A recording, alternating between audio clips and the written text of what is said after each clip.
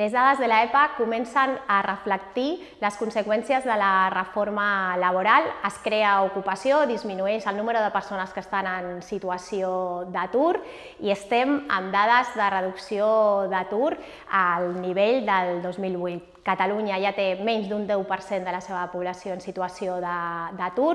s'ha creat ocupació a tots els sectors i la bona notícia és que aquesta ocupació eh, ha sigut eh, de manera indefinida. Disminueix la contractació temporal, augmenta la contractació indefinida i, per tant, totes aquelles persones que deien que la reforma laboral faria disminuir l'ocupació i contraure el mercat de, de treball s'equivocaven. Però encara així